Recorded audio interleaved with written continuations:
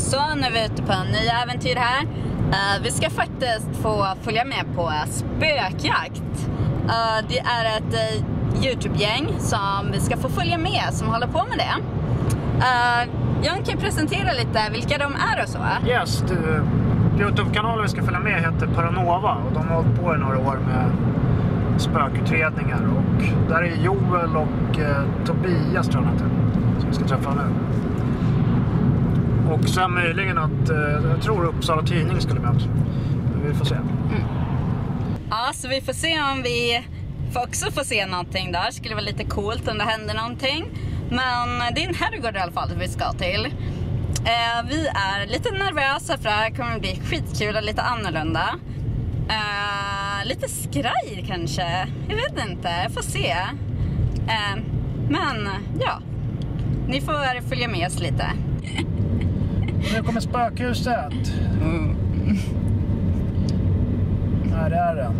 Vad hette det? Det hette Inte vet jag. Herrgård... eh, Nisses Vad det herrgård. står där? Krus, Krusberga herrgård va? Måste det. Mm. Fan, det ser bra ut.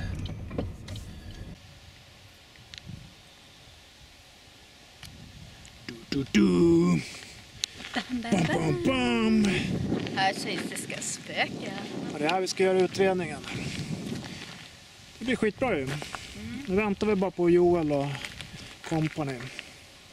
Så ska vi bli lite skraja sen. De kommer där, kommer de. Den långa allén. Ja, väldigt stort.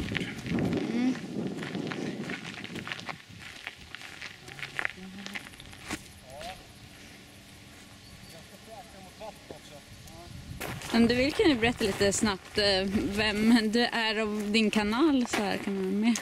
Ja, jag heter Joel Edberg eh, med Paranova.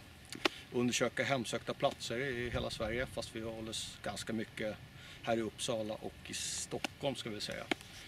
Vi har väl varit och snurrat lite på andra ställen också och eh, som sagt vi sysslar med det här på vår fritid. Eh, åker runt och vi är intresserade av att se vad som eh, folk upplever på olika ställen. Går det att dokumentera det, bekräfta det. Eh, ja, det är det vi sysslar med helt enkelt. Och, ja.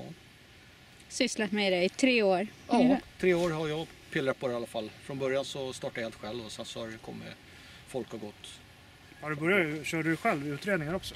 Nå, ja, nej inte själv utan jag körde, Ja. jag körde mest eh, jag gjorde en liten, ja precis, jag gjorde en liten dokumentär om eh, Ulleråkers begravningsplats som finns Ja. i Uppsala. Den gjorde jag helt själv. Eh, sen efter det så tror jag var kom, nej nu ska jag säga, när var Bogesunds slott tror jag. Och då var det lite andra folk som hakade på. Men det är ingen som har varit rikt, riktigt fast där som Tobias, han har varit längst där. Trogen. Ja. Eh, Så att där folk kommer gott. Eh, Bogesunds slott, Kumla herrgård, Mälsåkers slott, Venngarns slott. Mm. Ja, lite slott här och där så att, och mycket herrgårdar. Nu som sagt vi är här då. Krusenbergs herrgård, Ja. Uppland, Uppsala. Så att eh, ja, det flyter på. Perfekt. Ja. Nu ska vi följa med och bli skrämda Ja, här tänkte vi. Kissa på oss. Precis, ja, du tog med dig dubbla blöjor? Ja. Madde får bära. Ja, precis. Nej, men så, så, som oftast när man, när man pratar om om man blir rädd och sådär. Alltså, vi är inte rädda för att gå runt och undersöka. Det man är rädd för det är liksom om man ska snubbla över någonting. Om en trappa eller brant trappa eller ett hål i marken som är ramlar skruvar till exempel. Det mörkt. Alltså det kan ju vara dödsfara. Eh, och det är väl det man är mest rädd för. Visst ska man bli rädd om någon hoppar fram så här men alltså, man, man, hela tiden går man med foten så här och känner, vad fan går jag någonstans? Ja. Jag gick in en lampa i Skärbergslampan, tyckte inte det så skitkul. Pang sa det bara, jag så, såg lampan Då liksom. börjar med hjälm. Liksom. Ja, precis. Här är det också lite fina vyer. Ja.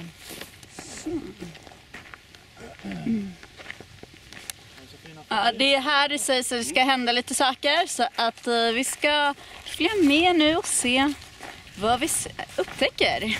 Jag får kolla på lite utrustning sen också. Får se Ja. vad vi använder för något. Ja, det ska bli. Vi har hört lite om en vit dam eh, i alla fall som ska vara här men eh, det, säger, det kommer ju vara lite mer. Vi ska få höra historierna sen. Så vi syns om ett tag. Tobias Roslund, Paranova Sweden. Eh, Vi är på Krusenbergs herrgård och vi har bjudit in Tree Movie Brothers. Det är vi. Yes, det är ni. Ja, och eh, nu ska vi få se lite utrustning, vad man behöver när man går på spökjakt. Precis. Ska vi börja med den enklaste varianten som har funnits ganska länge. Det är ju en EMF-mätare. De flesta vet ju hur en sån fungerar när man sätter på den. Och den här mäter elektromagnetiska fält. Och energier, själar då, som man påstår att det är, de ska kunna manipulera och få den här att blinka, blinka, blinka, blinka, blinka. Så att, eh, är det någonting i närheten så kan det vara något, men eh, ja, man ska vara skeptisk till allt, det måste man ju vara. Ja, Liksom. exakt. Men man får prova sig fram och är naturliga. Typ, vi kan ju prova här, se om det finns något naturligt som kommer här. Eluttag och där brukar Ja, alltså ibland är det ju ingenting vid eluttagen, men det kan vara liksom sånt som sitter i väggar, i golv, det kan vara massa saker som gör att de här, men nu verkar det vara rätt. att ta på lampan. Så det händer ju ingenting ändå om man sätter det här. Så att... Mobiler brukar Ja, väl... mobiler, wifi bruk. Precis, vi kan ju prova. Ja, Vi ska göra så här, ett test. Nu Ja, ser ni. ser den. Bara att ta fram mobilen så, Ja, den snurrade upp det. ja, den börjar blinka direkt. Också. Så av med sånt då. Precis, ja, nu kommer den igen där. Mm. Så att det är en naturlig grej. Ja, den är intressant. Ja. Vi kör på den bästa av dem alla tycker jag personligen. Min favorit. Det är Spiritboxen. SP11 kallas den. Eh, och den fungerar så, så att den scannar igenom tomma ljudvågor, radiovågor. Och det som är så att vita bruset, mellan vita bruset som låter det är ett white noise säger de på engelska. Och mellan det bruset ska energier kunna kommunicera. Det, det är teorier som sagt, men uppenbarligen så får vi ju svar på frågor genom den här. Så att, Ja, är ja, man måste ju försöka gå någon väg och den här vägen, det är den enda vägen vi har att gå just nu för att få kommunikation direkt. Och Det är ju faktiskt genom Spiritboxen. Ja. Så att det är ljudvågor, radiokanaler och sen så hör man oftast jobbigt brus. Det blir jobb, jobbigt i längden. Men får man röster som svarar där så är det intressant. Ja, då är det häftigt ju. Ja, då är det väldigt häftigt. Så det här är en av våra favoritgrejer faktiskt. Den är kanon den här. Ska vi lyssna hur den låter? ja, dra igång den då. Vi kan testa hur den låter. För er som aldrig har hört den. Så. Sweet rate. Då kan man ändra då hastigheten här. Och nu går det väldigt fort då på 50 här så... Och så ändrar man bara så kommer den gå fortare eller långsammare beroende på vart man lägger den då på hastigheten. Nu går det lite långsammare här. Ja, och så ska man försöka kommunicera. Så I praktiken handlar det bara om att gå runt på platser som påstår sig vara hemsökta eller aktiva. Försöka skapa en kommunikationsväg. Liksom. Det, är- som sagt, det handlar om bara att försöka, försöka, vilja och tro på det. Ibland går det bra, ibland går det dåligt. Liksom. Så, men, Tålamod kan man säga. ja, man går ju runt en hel natt liksom. Och som nu, vi pratar med varandra. Ja. Det händer ingenting, det, det låter ingenting. Ponera på att man står två timmar på natten, bara du och den här, i Ja. mörkret. Och, ja, man får ge det tid liksom. Ja. Så att, men nu är det tyst då, så att, Alltså den kör vi natt. där kör vi natt, Ja. garanterat. Ja. Precis. Yes, vad har vi mer? Den är bra. Sen har vi också en nyköpt. Eh, EDI Plus heter den här. Eh, den fungerar så, så att den mäter temperatur högst upp här. Temp. Eh, och sen så har den vibrationen längst ner till höger för då ställer du den ner. Och sen så kommer de här blinka ifall någon knackar då. Vi kan se om den fungerar. Joel köpte en ny här ska vi se. Ja, det är alltid roligt med ny teknik. Ja precis, jag vet inte om det är någon... Alltså ska den reagera Ah. mot knackningen i närheten eller känner de liksom Ja, det, ja det ska, du ska kunna ställa den var som helst där det är ett underlag. Liksom. Och då ska det liksom vibrera. Då Okej, blink... det är om det knackar på själva ja, underlaget. på yt, då ska de Ah. blinka till. Okej. Nu har inte vi satt in det här så att jag vill inte starta upp den. ännu. Nej. Nej. Vänta med den där. Ja, den spelar in på SD-kort eller? Ja, precis. Så lagar den kurvor som man ser. Ja, det är intressant. Ah. Den här är bra. Och så EMF-mät, precis som den här så finns det inbyggd Ja, EMF-funktion i den här. samma liksom. Men det är bra att ha så här inspelat för att, alltså Annars blir det så här, ah, var det någonting, såg jag någonting där? Men att Precis. Ja, då måste man, fil- liksom. måste man filma den hela tiden. Ja. Ja, för oftast så när man kanske går igenom mycket sen hemma, det är då man bara, oj, det där missade vi. Precis, det är det som är fiffigt. Sen den här tycker vi är väldigt intressant och det kallas för Melmeter. Och den uppfanns i USA av vad heter han? Galka i efternamn. Mm. Eh, hans dotter dog, bilolycka. Eh, och han trodde att han kunde kommunicera med henne. Eh, han kände av henne, så han uppfann den här. Då. Och, eh, den ska då mäta temperaturskillnader. Eh, nu sätter inte jag på den här för att jag vet inte hur den fungerar faktiskt. Vi har inte kört den så mycket. Joel är kanongrym på den. Joel är jättebra på den. Vet du om han lyckades? Alltså Nej, vad som sägs om han lyckades kommunicera med sin dotter? Ja, det har han gjort. Och han fick röster och han fick temperaturskillnader i sitt hem. Häftigt. När han var det. Så att, filmen finns ju på Ghost Adventures. De har ju varit där. Så den här är kanon. Ja. Den kan man läsa om på internet också. Mm. Mel Meter. Millimeter. Mel Meter. Mycket bra. Mycket bra grejer. Sen har vi den klassiska och gammelmoderna diktafon. Även Ghost Adventures brukar köra med den här. Eh, och den lägger man var som helst i princip, precis vart man vill. Då. När man vill spela in ljud så ska man helst inte vara i rummet. Så man avlägsnar sig, stänger dörren eller vad det är och sen så får den spela in ljud då, kanske flera timmar och bara suga upp ljud. Så Den, den är känsligare än... Väldigt känslig. Går du in och andas så fångar den upp Ja. din Okej, andning. det är därför man ska Ja. ja. Men låta den sköta sitt själv. Ja, den där gör sitt liksom. Mm. Finns det någon som vill tala eller är det någon röst eller någon som är kvar där så ska den fånga upp ljudet om det är någon som håller på att böka eller låter där. Så att den här är väldigt känslig. Den är bra, den använder också Ghost Adventures, det kan vi också se. De går runt med den ofta, så kan de stå still så här Ja. Hoppas på att få live-röster. Men vi brukar lägga ifrån den och så kanske gå därifrån och så får man se. Men man, man får jobba som man vill liksom. Det, man får prova sig fram som sagt. Sen har vi det här då, övervakningskamerasystem. Eh, med webbsändning så man kan koppla upp sig och kolla på det. IR-kameror. Ja, och det är IR-system, det fångar ljud, rörelse. Mm. Så att den ska i princip, du kan sätta, vi har två, fyra, nej, vi har fyra kameror, med oss två nu. Man kan sätta upp alltså i olika rum Ja. i en byggnad. Och samtidigt kunna ha full koll på det och även efterhand Mm. kolla på allting. Och live om du sitter i en annan byggnad, du ska kunna sitta i en annan byggnad och kolla på det. Det är ju skitbra. Ja, så det, det är kanongrejer. det här. Så att Mm. Den är övervakad och rörelse och ljud. Ja. Spelar den in på ljud eller spelar den in hela tiden? Den spelar in hela tiden. Eh, Rörelse spelar in bara när det rör sig. Ja. Eh, Ljudet blir ju då såklart att man hör det mesta. Liksom. Ja. Är det ingen där så är ljuden misstänksamma. Liksom. ja, exakt. Man får ju gå efter det. Men just eh, rörelse är det bara att den spelar Ja. när det rör sig. Ja.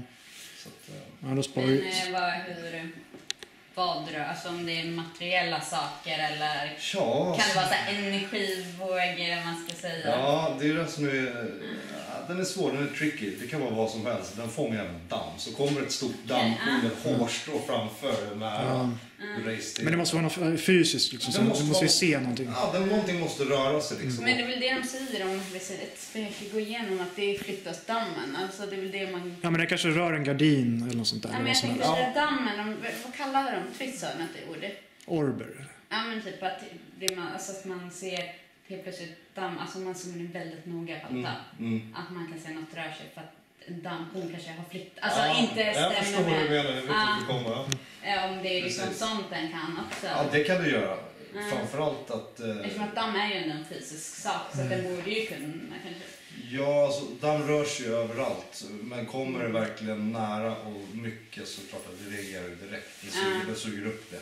Men kommer det någonting ensamt då? Ponera att det kommer en sak flygande från hörnet vi har det på film. Den flyger hela vägen där nerifrån, glider runt här intelligent och får den här sen att reagera på det. Ja. Då är det intressant. Kommer det fullt i dammkorn så är det inte intressant. Nej, exakt. Så att, eh, ah, man får ju analysera det här efterhand och vad det är som är intressant som har rört sig. Ja. Men framförallt ljud är viktigt att det fångar upp. Ja. Vad är det här för något då? Det här är elljus. Den är kanon. Det, kan du alltså, det räcker oftast med en sida, men man har två sidor. Den fungerar i mörker då, så du kan gå runt med kamera, filma. Ja. Becksvart. Men den här gör att hela rummet lyses upp. I, ja, i kameran. I kameran. Ja, så kameran fångar allt hur bra som helst. Det kan vara becksvart. Men de här gör ju inte rummet ljust för det. Nej. Som en sån här lampa som gör rummet ljust. Den här är ju egentligen, det lyser bara. Funkar med alltså vanliga kameror då? Alltså, Nej, det måste Ja, vara i- IR-kameran. det- Ja, så, okej. precis. Mm. IR-kamera är inga problem. Då kan du också gå runt och filma hur, vilken Ja. källare du vill. Du får med allting klockrent. Liksom. Så det här är, vi kallar det för nattljus, spökljus, you name it. Mm. Men vi gillar inte att prata om spöken, vi pratar om energier. Ja, exakt. Det är mycket viktigt. Ja. Det blir lite för dålig nivå på Ja. spökpratet så att vi undviker att säga så. Ja. Ja. Men eh, Intelligent energi kan man säga. Ja, det får vi stryka där i början. Spökjakt. Energijakt. Ja, ja. Så att det, det är huvudsakliga grejerna vi använder oss av. Sen har vi någon... Ja, den där också. REM-podden, ja vi får inte glömma den. Absolut inte, det har du rätt i. Eh, den här reagerar också då, den har lampor. Jag ska köra igång den här, ska vi se. Du-du-dun. Nu är på. Pip, pip. Vi visar hur det fungerar. Då är det så här att en antenn, den reagerar på om någonting ja, Ja, nu kommer nära. är någonting nära ja, Nu piper och är det någon som, någonting som stannar kvar här och hänger kvar. Ja, just det. Sen börjar den pipa, då är det ganska intressant. Och har du kameraövervakning på det här då Ja. och ser att, vänta nu, det är ingenting där, men det piper ändå. Då är det ju någon energi som gör det. Ja. För kameran ska ju fånga allt. Dagens kameror ska fånga allt. Ja, Så att är det ingenting som är där på kameran, då är det mycket intressant. Ja. Flyger in en energiboll där och det piper, ännu mer intressant. ja. Så att eh, den här är kanon. Häftigt. Och lamporna här, och den reagerar på Ja, du ser ju temperatur. Jag är varm. Ja, det är varm. Mip, mip. Hade det kommit något kallt här, nu är inte jag kall, då hade det blivit blått här. Jaha, okej. Nej, men det måste kanske vara jättekall. Tyvärr. alltså. Du är var, varmblodig. Nej. Du är varmblodig. Det trodde jag inte. Nej, Jag trodde det var helt kallare. Ja, men häftigt. häftigt. Den är kanon den där. Så vi får se. Vi, vi testar nog den i natt också. Vi ställer den i källaren och hoppas på resultat. Den är Om kanon. man ser något finger så är det... kan man Precis. Ja, den är bra. Perfekt. Yes, då... Ja, då hörs vi lite senare. Jajamän. Tack för pratstunden. Ja, tack för tipsen och Jajamän. genomgången. Det är liksom, det är liksom kallt Fönstren är ju inte isolerade. Ja, precis. Tänk på den tiden. Ja, nu har de säkert isolerat. Jag måste ju fan elda. Hela tiden.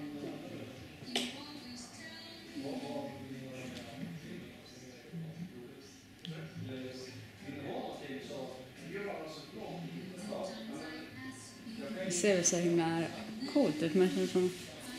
Alltså bara det här liksom blir, kan ju bli så spökigt. Liksom. Ja, verkligen.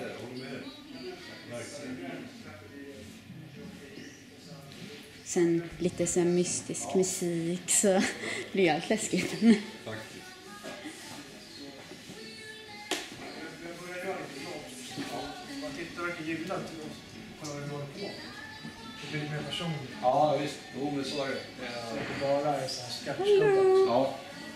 Har vi varit här några timmar.